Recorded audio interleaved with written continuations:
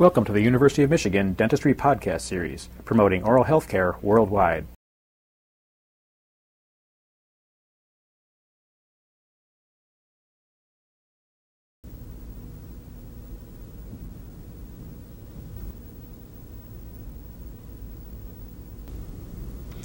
In the crown and bridge clinical situation, a temporary bridge will be fabricated from a diagnostic wax-up.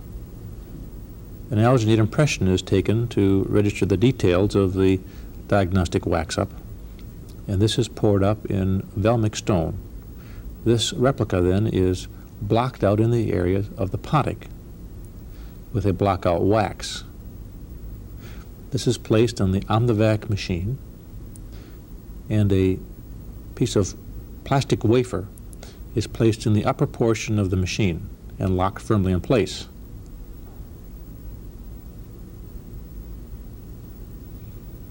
Heater is turned on and this is left for about five minutes.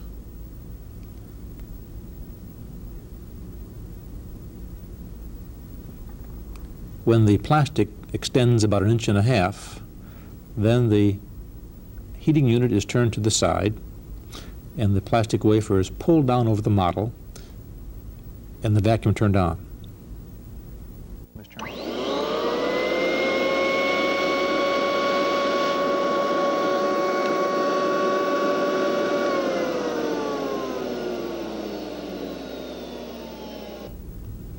The plastic wafer material then is removed from the replica and trimmed. This is the point at which you will start the project these plastic wafers preformed will be available to you in the sophomore clinic.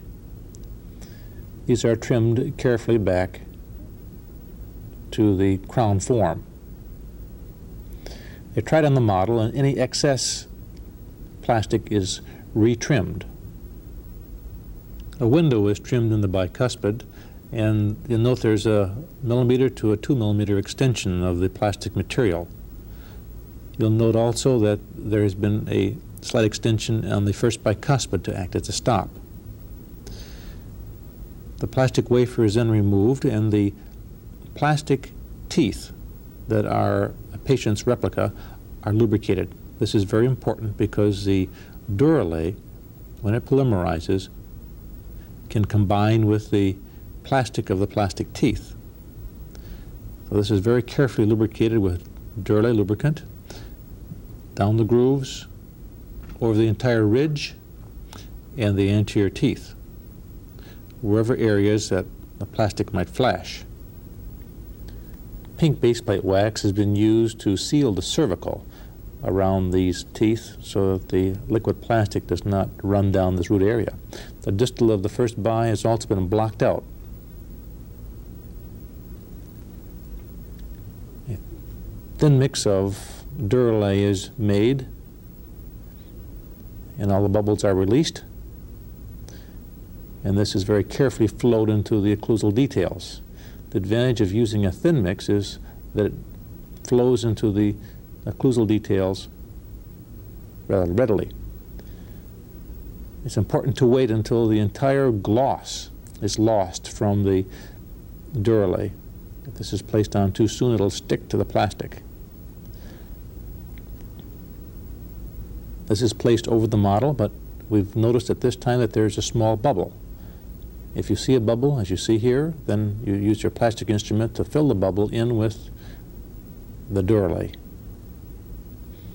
This is then placed over the lubricated model, seated down to its proper position, and then you have the patient close on this to drive this down to the proper level squeeze on the buccal and lingual of the pontic because this tends to extend outward. And then with the plastic instrument, we can carefully tease away any flash and adapt margins, like on the mesial of the first bicuspid. The bridge is very carefully teased on and off while the plastic is setting or polymerizing. Seated and have the patient close again.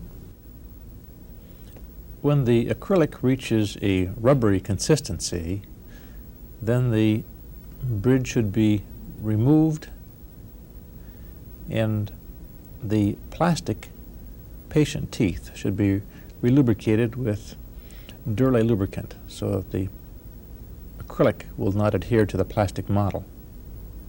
The Patient then closes and this is allowed to polymerize. When the acrylic is hardened, then the shell of the Omnivac plastic is removed and the bridge is inspected to see if there are no bubbles and all the details are evident in the temporary plastic bridge. A heatless stone is used to trim away the rough flash and to contour the pontic. The pontic should be formed into a sanitary pontic just as the permanent fixed bridge will have. The sanitary pontic should follow the contour of the ridge and have a millimeter of space under it. The Jo Dandy disc then is placed in the straight hand piece, and this is used to contour the interdental space or embrasure area of the pontic. This connector is formed so that there will be room for the soft tissue.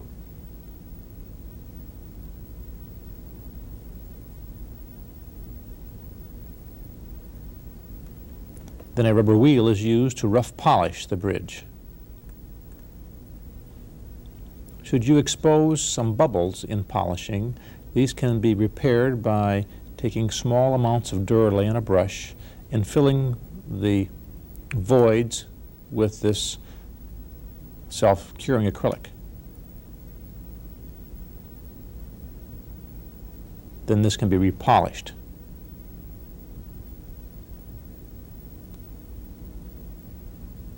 The bridge is polished with pumice and a rag wheel.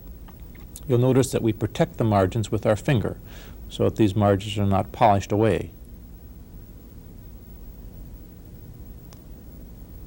A high luster is important so that this temporary bridge can be readily cleansed.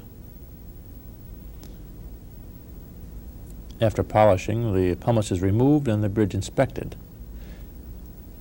The plastic teeth are lubricated with Vaseline in this clinical lab situation in order that the temporary cement will not adhere to the plastic teeth.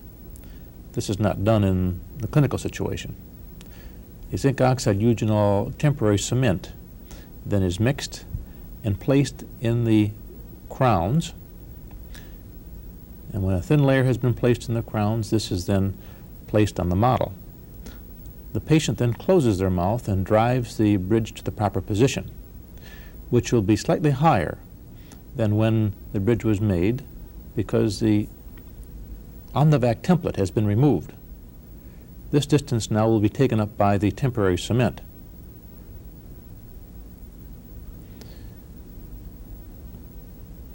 The excess temporary cement has been removed. This is very important that it is removed from the crevice because this will act as an irritant to the soft tissue. The contours are checked. Next, the occlusion is checked. And if any adjustments are to be made, they are made at this time. If everything is correct, then this bridge will hold the abutment teeth comfortably until the next appointment.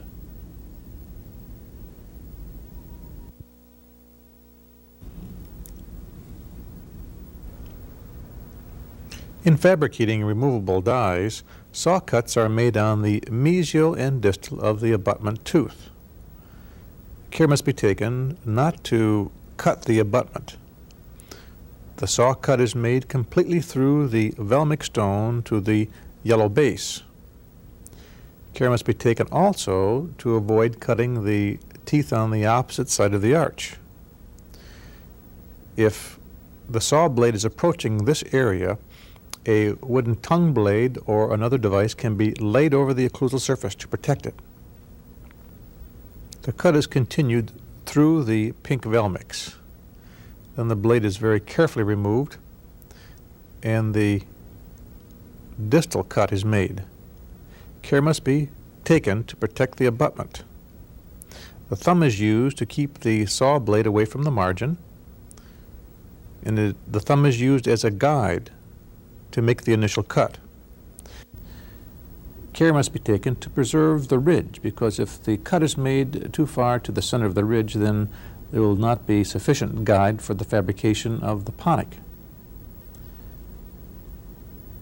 A similar cut is made on the mesial and distal of the molar die. The Velmix junction is etched and then the dowel is tapped. The die should release at this time. If it does not, then perhaps a saw cut is not deep enough. The die is inspected, and you will note the V notch that we've placed and the positive area in the yellow stone. The die is then trimmed with a heatless stone. It's very important to trim the excess away to allow room for waxing.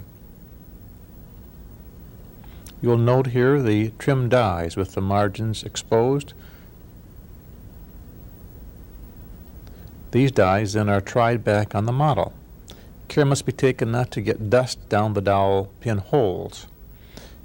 If care has been taken, the die should seat completely and the V-notches evident.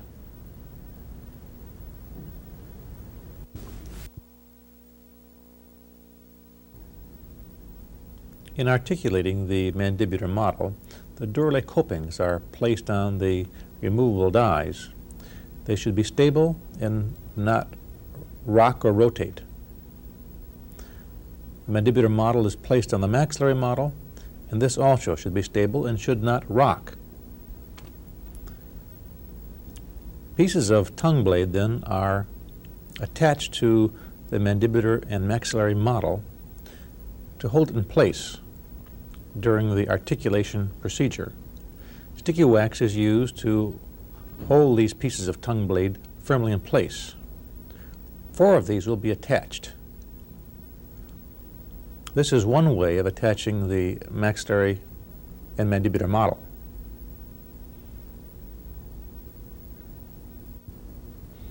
The tongue blades have been attached and now we will place plaster on the models and secure them firmly to the articulator. Before this is done, the ends of the dowel pins must be covered with utility wax. Should plaster get in these areas, it would make the removal of these dowel pins very difficult. This wax allows an access to the end of the dowel pin.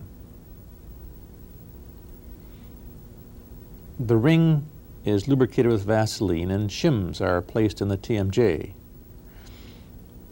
The articulator is also closed to see if there is clearance and that the model does not bind. Should this bind, it should be trimmed in this area. The base of the model is moistened with the paper towel and the paper towel is left in place to keep that model moist and then impression plaster is mixed.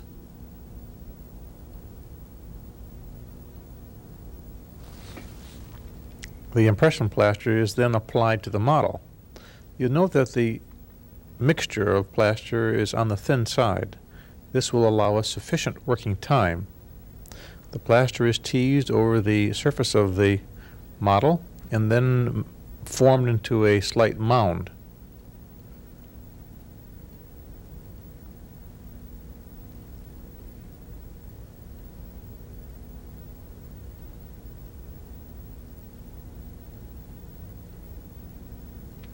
Then a small amount is placed on the ring, and a slight mound of impression plaster is placed in this area. Following this, then, the articulator is closed. If the plaster is too thick, this will limit the closing of the articulator.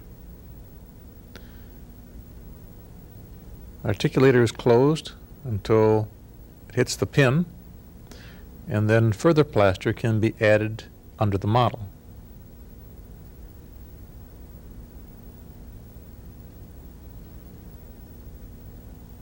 The model has been trimmed with a laboratory knife and the plaster is set. The utility wax is then removed and the access to the end of the dowel pins is exposed. The accuracy of the mount is now checked with shim stock. We should be able to get contacts on our copings. The dies then are ready for fabrication of the bridge.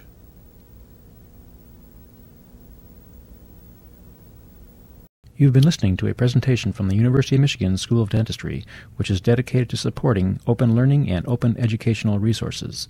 This recording is licensed under the Creative Commons. It may be reused and redistributed for nonprofit use. Please attribute materials to the University of Michigan School of Dentistry and redistribute under this same license. For more information on how this and other University of Michigan School of Dentistry recordings may be used, visit www.dent.umich.edu/license.